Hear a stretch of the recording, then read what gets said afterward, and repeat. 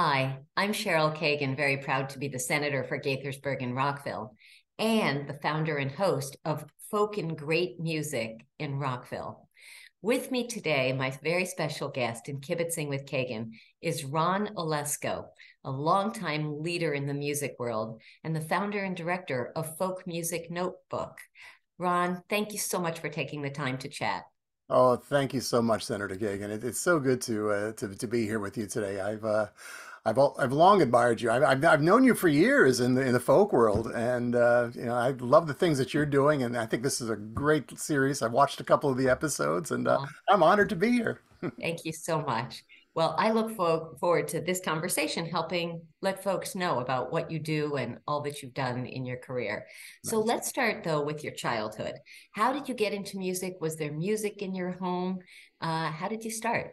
Well, uh, there was music in the home, but it wasn't I mean, my parents weren't musicians. My mother would sing to me, and uh, she would say she was sang off key, but you know, I can remember her singing around the house. And my dad used to listen to radio constantly, uh, any kind of music, um, big band music or pop music of the day. He just loved to turn the radio on, and he worked as a custodian. I remember every early mornings he would turn the radio on, trying to be quiet, but still loud enough that I could hear. And so I kind of absorbed that. And then I remember as a kid watching Captain Kangaroo on TV. This is during the, the folk revival, and he used to bring in all these great folk songs with his with his puppets acting them out. So I kind of got absorbed in that. And then, of course, in, in we had a great uh, music education in those days, which is something that's lacking in schools nowadays. But uh, I remember singing some of these great folk songs, which I didn't even know were folk songs in, Yes, in, in grammar school. So it, it kind of started started way back then. It was, the seed was planted. that's amazing. Um, who told you you had a voice for radio? How did you get started there? Well, they, they actually tell me I have a face for radio, but that's a whole nother story. I knew Uh, you were going to go there. That's nice. uh, I can't, I can't, you, you throw a softball, I got to hit it, right? Um, no, I, you know, I, I always had a thing for radio too. And in fact, I, I credit my dad for that. Um, you know, I remember when, when I was a kid, a local radio station started replaying all these old time radio shows. And he told me, he goes, Ron, you got to listen to this. It's The Shadow. I remember listening to this when I was young. You'll love it. So I tuned it in and I, th- I thought it was amazing, you know, this whole theater of the mind thing with old time radio and, and then other series. And I remember sitting in my bedroom at night, I was actually making a playlist. So if I ran a radio station, here's how I would put these shows in order from all the old time stuff. So um, it, it became a thing. And I decided when I went to college, I wanted to join the radio station. Yep. Uh, my first day of, of college in 1975, I went up the steps of WFDU-FM in Teaneck, New Jersey, and I joined the station. And all these years later, I'm still there, and I'm three more credits and I can graduate. So I'm, you know, 47 years with WFDU. Yeah. That's amazing. So WVKR, Vassar College Radio. Uh-huh. Actually, I was a newscaster my freshman year, and then I had a radio show myself. Wow, yeah, I didn't know that. Yeah. Curtain Call with Cheryl Kagan. It was Broadway musicals, actually. Uh-huh. Well, listen, really if, if the senator thing doesn't work out, we can talk. I can find you a slot in the folk music notebook, you know? there you go. So WFDU, tell me uh, what sort of radio you did there and Well, how that morphed over 47 years. Well, it started out when I when I joined, it was into uh, alternative rock. You know, this was the early mid 70s, Yeah. and uh, the station had just gone on the air like I think it was three years before I joined. Mm. So we were playing, you know, alternative rock. We were trying to be a non-commercial station, playing all these, you know, punk rock, early punk rock music. And I got to, originally, like yourself, I started doing news, did a, an late night radio series where I could just do whatever I wanted. Mhm. And I always had a thing for folk music. Um, you know, I remember in high school, my friend Bob and I, we would drive around in his Volkswagen. He loved Simon and Garfunkel and Bob Dylan. So that kind of got ingrained in me. So I started sneaking some of those kind of songs in there. And then I'll, I'll never forget the real turning point for me was back in 1978 um, or 77. I, am I'm ter- terrible on dates. Uh, but the m- movie Woody Guthrie's Bound for Glory came out. Mm. And uh, I remember Marjorie Guthrie was uh, in New York. I had read about her. So I said, you know what? I'm going to see if I can do an interview with her. So I, I, I called up her Committee to Combat Huntington's Disease, which was a little organization that she started. And uh, she agreed to come over to the station and do an interview. And Just was to interrupt for a second, Marjorie Guthrie is related to whom? How? yes, she was the widow of Woody Guthrie, Thank uh, you. who obviously is the, the godfather of folk music, really. Right. Uh, and that movie was, you know, very popular. It was up for an Academy Award for cinematography and such. So she came to the station and she brought a uh, musician with her, a guy named Tom Taylor, who was doing a one-man show as Woody Guthrie. Huh. And I was just so moved by her. You know, I, I kind of had a thing for Woody Guthrie and his music, but she was so inspiring to me. Oh. Um, and when we did that interview, I I just got so much out of out of her personality and, and her drive, and it inspired me to continue to you know pursue folk music and pursue radio.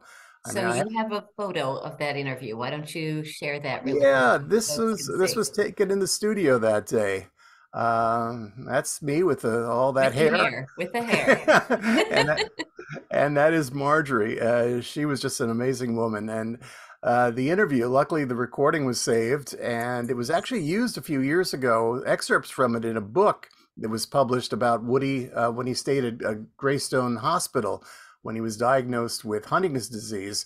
He um, he uh, was they, they were trying to figure out what was wrong with him, and so he stayed at this hospital here in New Jersey called Greystone and uh, a, a photographer by the name of Phil Buehler did a book. He went back to the ruins of this hospital, actually found some of the archives, uh, some paperwork that when Woody was staying there, and he put a whole book together and he used some excerpts from this uh, interview with Marjorie. Wow, So, that's amazing. So have you ever been someone who has sung, played an instrument, or written a song? Have I ever been that? Uh-huh. No. No. I, I, I play songs on the radio. I, I can right. play a CD player. That's about it. Okay. All right. Um, Actually, I take that back. I do play a little bit of fiddle, but nothing that anybody would ever want to hear. I, I started that in grammar school. Okay. Well, that's not something you can practice in the shower. Like some people say, well, sing in the shower. Fiddle playing in the shower wouldn't work very well. Um, so let's pivot to Folk Music Notebook.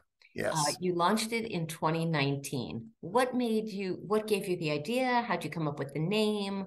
Who were your early partners? You've got Sure. a long list on your on your website um, of early supporters, founding supporters. But like, Right. how did you birth this amazing baby here? Well, it was something that was kind of percolating for a while. I, I, I started my folk show on FDU back in 1980. I had been with the station for a few years. I had graduated, and the station director at the time said, "Do you want to stick around? We're you know we're going to do a, a, um, roots music programming on, across the station. They got rid of alternative music, and he knew I liked folk music, so I said, "Yeah, I'll, I'll do it for a while."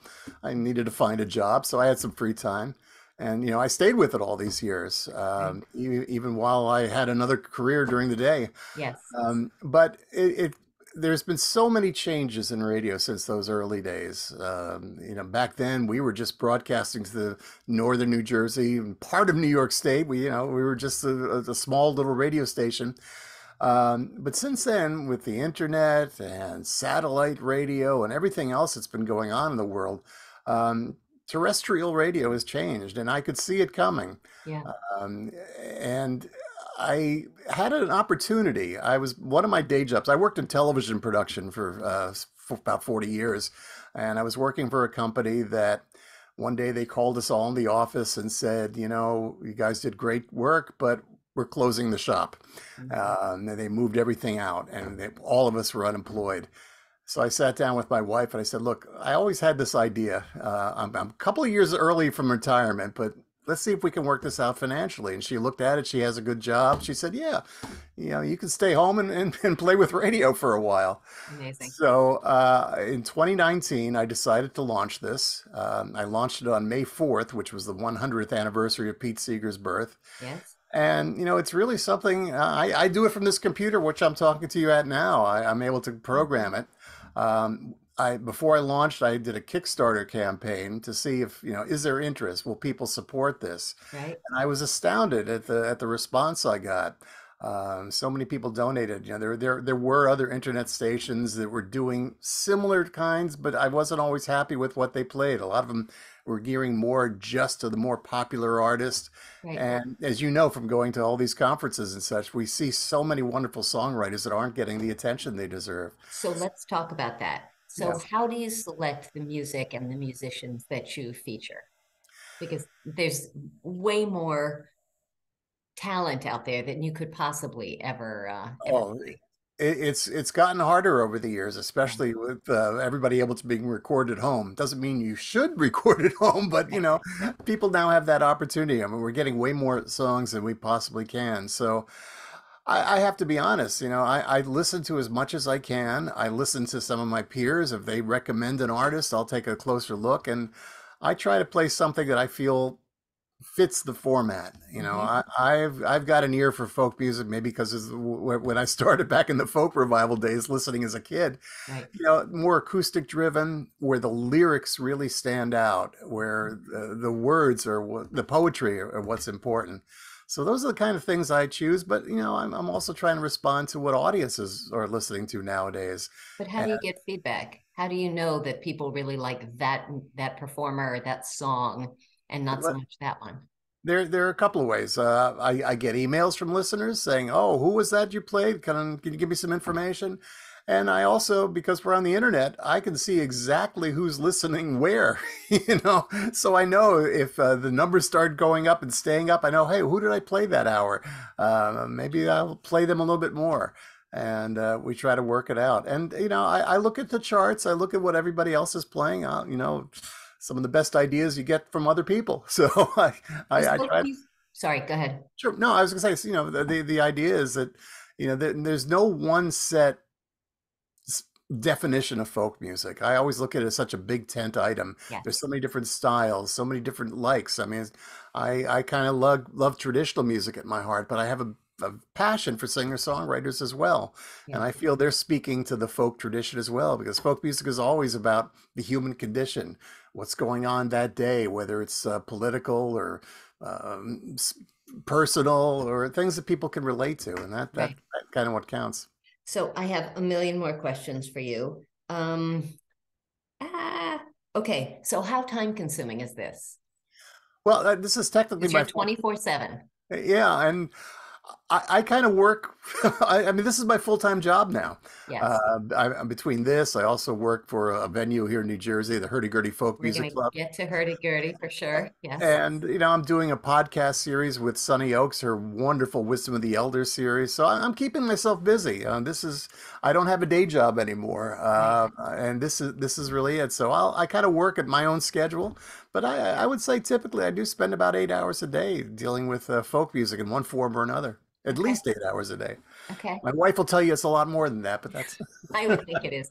So I assume you can program in advance and then kind of push go. Yeah, Okay. pretty much. It's it's it's a service.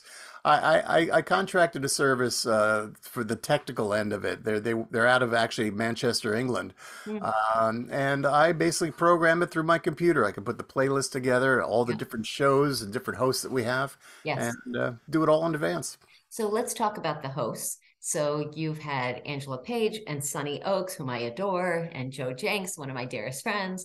Um, do you have any con control is a bad word, but any um, uh, oversight as to what they pick, what they air, or do you just say, Sonny, you've got two hours, have a nice day? That's pretty much it. I mean, Okay. we do try to. Uh, I, I do try to convey the idea of what this channel is and something that that fits. I've had a few people that have offered shows to me that I just didn't feel fit the the format. hmm Um, uh, you know, so I, I I think everybody that I've got on board has a, a like mind, and again, because folk music is such a diverse style genre, um, you know, I think it all fits, and we try to you know put the programs uh, during the evening hours uh, from all these wonderful hosts. Um, during the day and the overnights, it's our diverse playlist that, that goes on. Do you ever play something that's really outside of your lane of music that you personally like?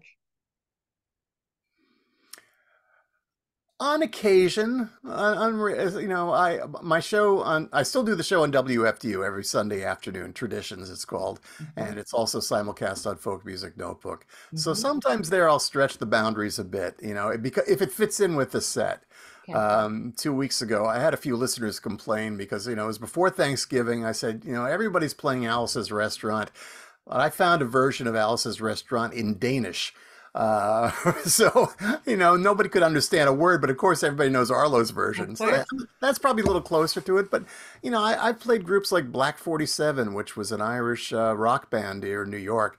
But, you know, I feel their style and, and what they were saying kind of fitted in with what I'm trying to say on my show. It's great. Um, you referenced social change, political lyrics, and all that. Is there a limit as to, you know, outside the bounds? Is there, and the folk music world is pretty progressive. Yeah. Um, do you ever get someone who's with a conservative message or someone outside sort of the lane that most of us inhabit? Uh, on occasion, uh, but I, I don't find them to be too uh, radical. Um, you know, I wouldn't play anything that, uh, or I try not to play anything that's offensive.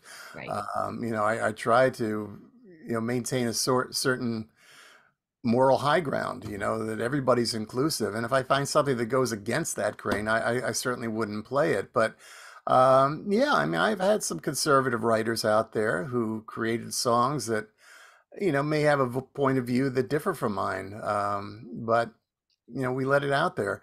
You know, that, that was another reason why I started this channel um, with terrestrial radio. uh, Things have changed, uh, especially since uh, what's his name became What's president in 2016.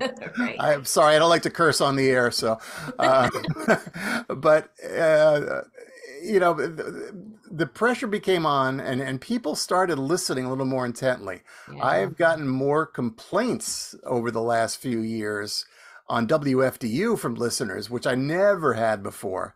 Um, I, I did a whole set uh, on um, women's right to choose. hmm And a listener wrote to our station director and said, uh, How can you allow this to be on without uh, somebody else Right. having a point of view that differs? Mm, And my response is, Well, give me some songs and let's see if we can play them. And of course, nothing came nothing. through. Yeah, yeah, yeah. Um, but, you know, I do try to be careful on FDU because I realize I, I don't own that license. It's owned by the university. Right. And, you know, it's so fragile these days because of the condition. Uh, the station can't afford to have a lawsuit or anything against itself. Right. Um, but on the internet, you know, I don't have to worry at this point, at least, about the FCC. So we can be a little more Yeah. um, aggressive. Um, you know, I played songs with certain words that you cannot say on the uh, on the radio. Okay. Uh, I don't make a habit of it, but you know, if it fits in, if the if the if the message is there, by Yep. all means. Yep. Uh, let's talk about the impact of the coronavirus um, on singer-songwriters, on uh, we're going to get back to the hurdy-gurdy, but uh, venues and everyone was so challenged. Was it good for for FMN? Like, did did listenership take off as people were working from home more?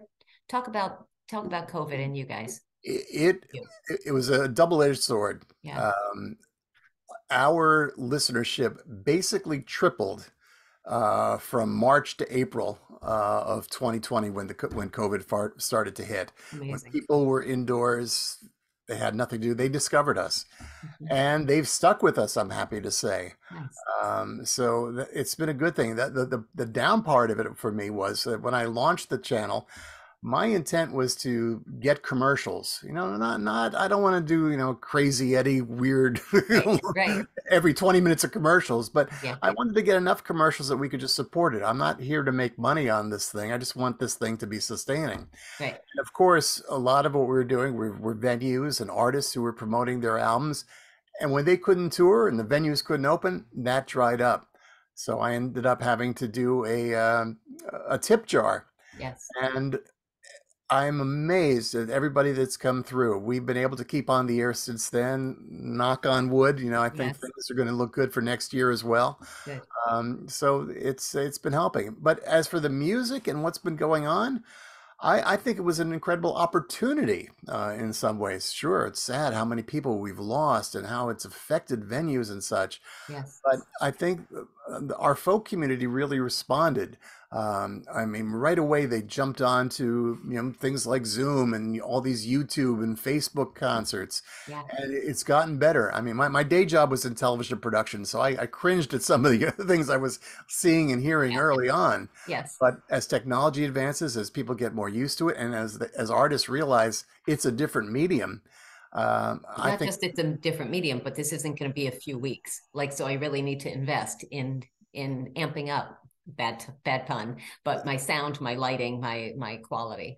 Absolutely. And and what else is happening? I think artists are starting to realize, you know, let's be honest, you know, folk music has an older audience uh, at its core, hmm and they're not getting out as much as they used to. And with the pandemic, it's it's gotten worse. And I know from doing radio all these years, I have a lot of people that are, are shut-ins. I've had people that have been writing to me from prison in, in, in the area who listen to the radio shows. Hmm. And those folks aren't exposed to it. So now they've got an opportunity to see and hear people that um, they may not have a chance to see in person. So I think that's something that's important to Yes. go forward with. So let's talk about venues, um, Oh, because more and more venues have shuttered um, their doors or or closed for a while, and now they're trying to reopen all that. So, what have you seen, and what are your prospects for hurdy-gurdy and elsewhere? I, I, I'm I'm frightened for the future in, in many respects. Um, you know, uh, the the pandemic. We reopened uh, last spring, uh, or this spring rather, uh, spring of Spring of 20, 22. 2022, right? hmm Um, and we've lost money on every show that we've put on, and we've had some artists that in the past filled our theater, Yeah. and they were What's drawing. capacity? Uh, it's 160 seats. Okay. Um, we had one artist who was only able to draw 50 people, and you know, she, she was really nice. She wanted to offer money back to us, but I feel when we make an agreement, we make an agreement, and we're going to honor that. Yeah. Um, so I don't know how long we can continue like this. Um, and we're, we're going to have a board meeting soon to discuss what our future is going to be, but we can't continue to just, you know, Hemorrhage flush money money. down the toilet. Yeah. Uh, Yeah. and uh, I, I see other venues having the same thing in our area.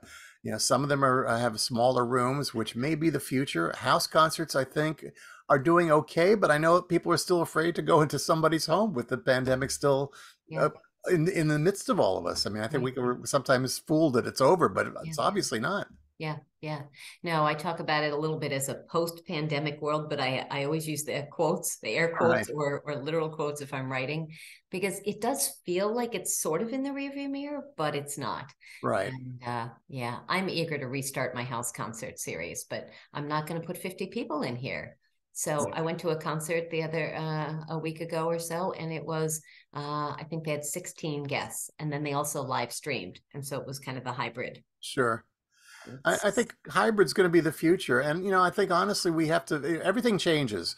yeah, You know, when when I was uh, growing up, it was it was people were used to going to concert halls or venues where they sat and listened, but you know, I think younger audiences they don't want to do that. They want to go to a, a place where they can socialize.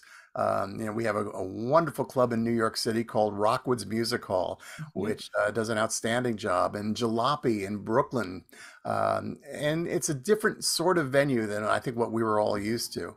Hmm. Uh, so those might be the the way things are going to be evolving. And I, I think you know we're kind of in an evolving period right now, and hybrid uh, concerts certainly might be a way of helping. But I wish I had a crystal ball. I'd maybe get some lottery numbers and uh, really fund this whole thing. Well, let's go back to Folk Music Network here.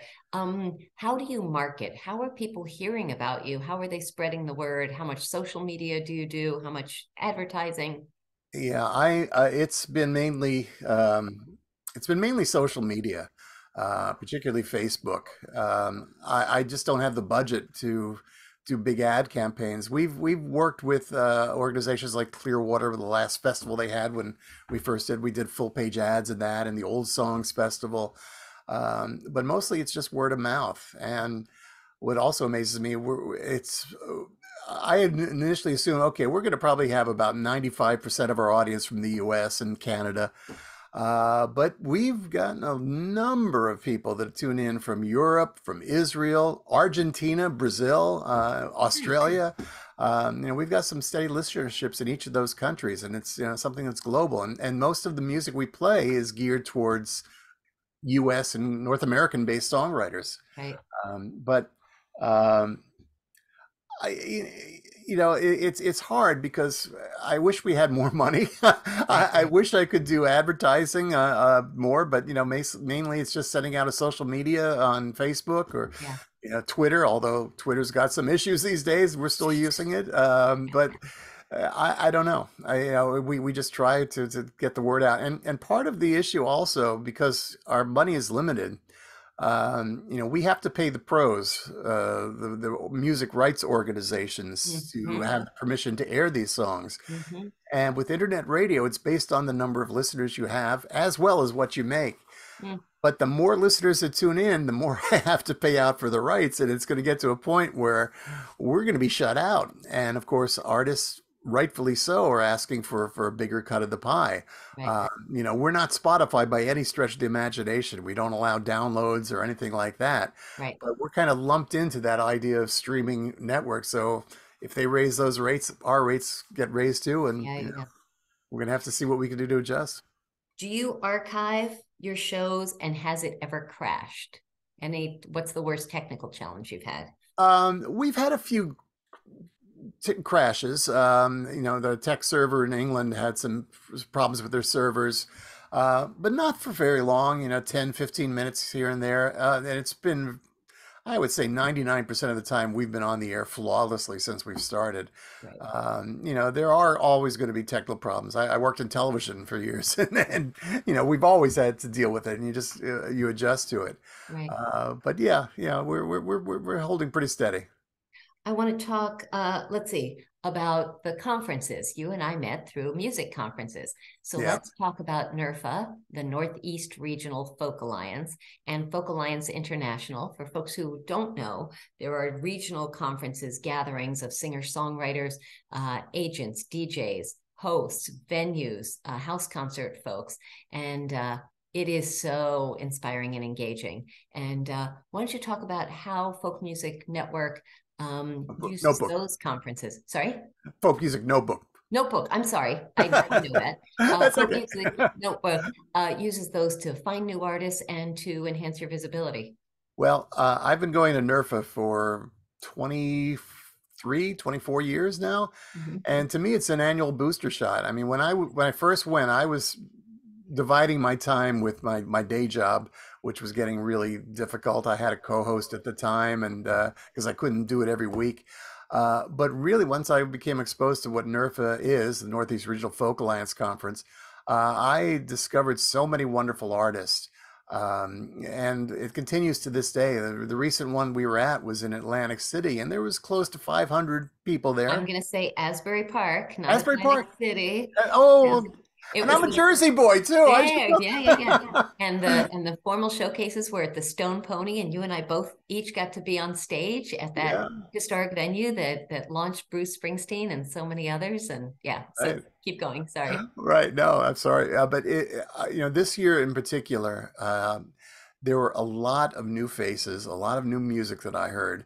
And I ran showcase rooms, which I'm going to be putting online uh, so everybody can watch. Yep. Um, but it's it's incredible because to me, I've always said folk music is a living tradition, and these conferences not only just showcase these these artists, but they help develop operational plans for the future uh, for both artists and for you know folk music notebook um, i attended a couple of workshops there uh, about live streaming and i'm hoping to do some live streaming events we have a youtube page folk it's youtube.com slash folk music notebook um, we i started a series called artist and resident showcase where i give artists 15 minute slots each week to uh, record a video at home. We started this during the pandemic.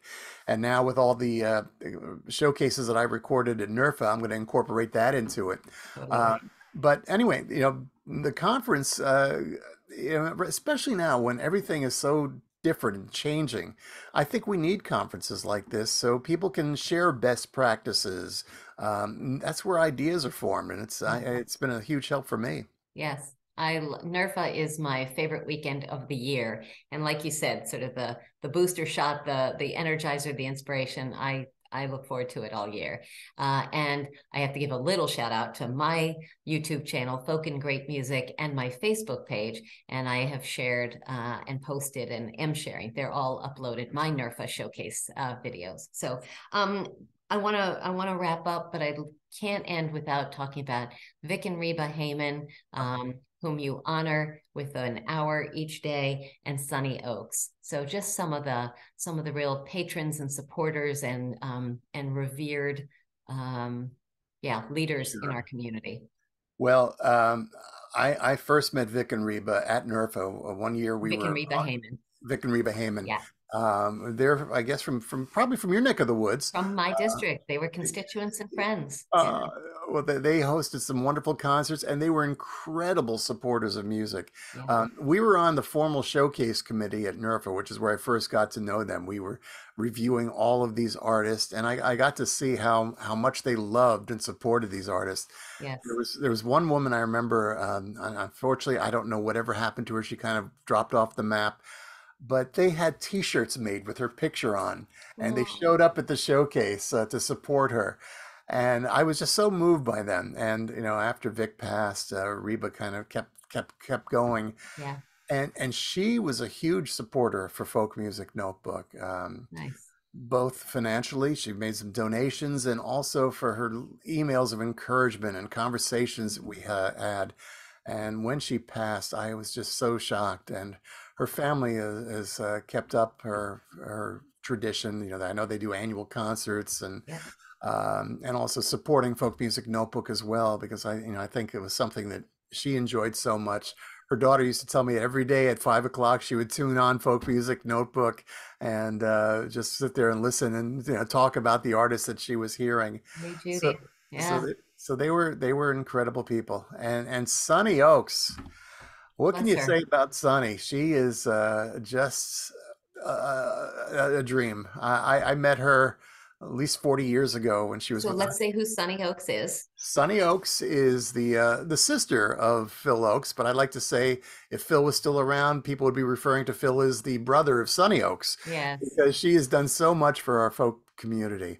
Um, as I said, when I first met her, she was part of the Hudson River Sloop Singers, which was a a group of artists who worked with the Clearwater organization, singing songs, and it was a you know loose knit choir, so to speak.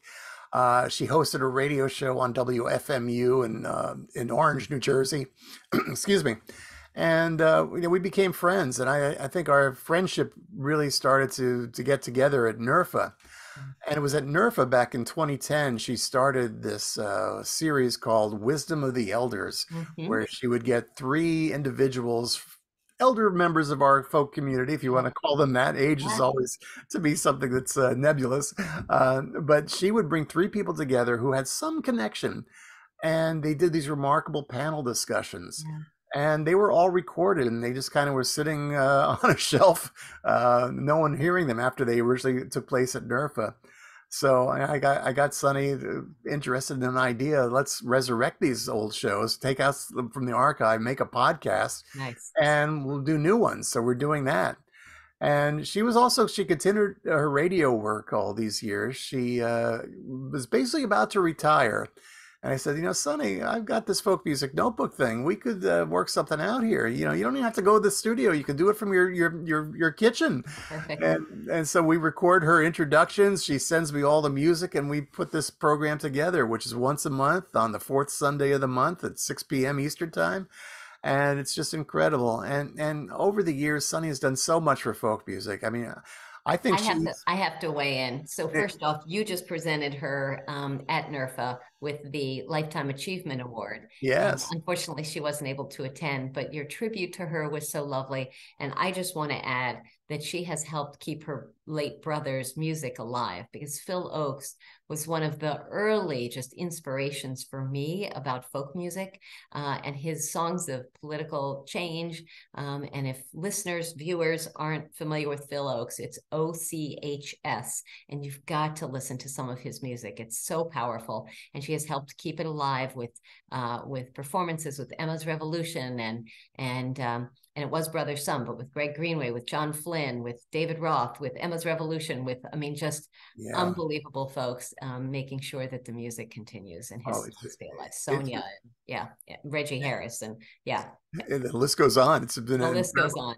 Yeah. But she she's also uh, you know allowed the others, all of these artists, to perform their own songs as well and show yes. how Phil's music is carrying on. So it's yes. it's great what she's been doing, and it's now uh, we do an annual of uh, Phil Ochs Song Night on the uh, Greenwich Village Folk Festival, which is another event I'm involved yes. in. It's an online concert. So yeah, she's she's she's doing well. She's not traveling like she used to, but you know she was a fixture. I, I think she's been either a volunteer, MC, or stage manager just at practically every major folk festival in the U.S. and Canada. Uh, just an incredible woman. That's great. So Ron Olesko, we need to wrap up and it's time for us to do the fast five. Uh-oh. So five quick questions to um, to let folks get to know you better. Um, so Ron Olesko, founder and director of Folk Music Notebook. Um, question number one, what is your favorite genre that is not folk music that you would choose to listen to?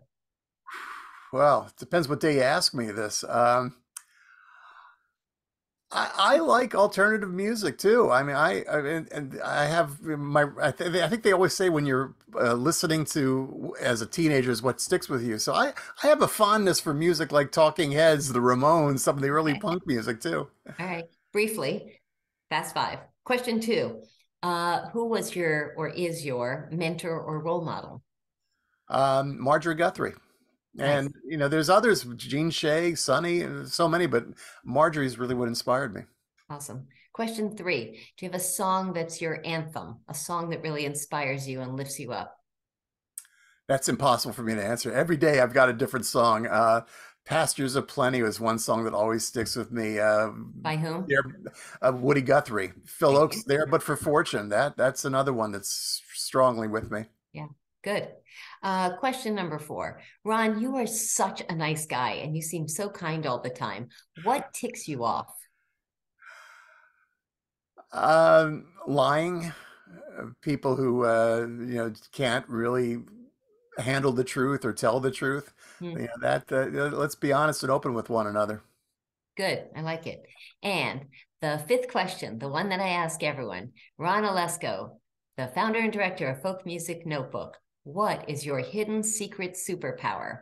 What is a skill or talent, something you're really good at that most folks can't do? Well, you can probably tell by looking at me. I like to cook, I, especially baking. I, I, I, was making sourdough bread long before it became a thing during the pandemic. So that, that's probably my secret skill. There you go. Well, it's awesome. Well, Ron, thank you for all you do for music, for musicians, for building community and for the joy that you bring into every room and every uh, airing of uh, of shows that you do. It's always a joy to hear you and see you. So well, thank you for taking time to kibitz today. Thank you, Cheryl. And the feeling is mutual. You do such an amazing job, not only in the folk music community, but what you're doing for Maryland. I wish you were here in New Jersey because I would vote for you often. You know? uh, they do that in New Jersey. We don't right, really right. do it in Maryland. it's a thing, right? I look forward to seeing you again soon. And thank you so much for taking the time. Thank you, Cheryl. Take care, hon. Bye. Bye.